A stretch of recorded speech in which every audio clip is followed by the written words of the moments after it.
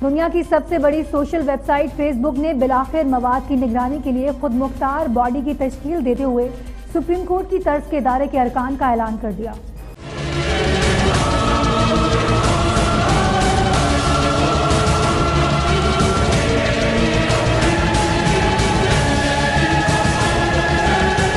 Facebook के मारी mark Zuckerberg ने नवंबर 2018 में ऐलान किया था कि वेबसाइट मवाद की निगरानी के हवाले से एक आज़ाद बॉडी का क्याम अमल में लाया जाएगा और अब फेसबुक ने 18 माह बाद अपने वादे को पूरा करते हुए 40 रुकनी बॉडी का क्याम अमल में लाते हुए इसकी इब्तदाई 20 अरकान के नामों का ऐलान भी कर दिया है। फेसबुक की जानब से मवाद की निगरानी के लिए तश्कील दी गई बॉडी को सोशल वेबसाइट की सुप्रीम कोर्ट कहा जा रहा है और ये बॉडी अदालत की तरह काम करेगी और इस बॉडी के फैसलों को तस्लीम करना करना वेबसाइट के लिए लाजिम होगा। फेसबुक की सुप्रीम कोर्ट कवायद जवाबित में रहते हुए आज़ादाना तौर पर वेबसाइट पर शाया होने वाले मवाद की निगरानी करेगी और ये फैसला करेगी कि किस तरह का मवाद वेबसाइट पर शाया किया जाए और किस तरह के मवाद को रोका जाए।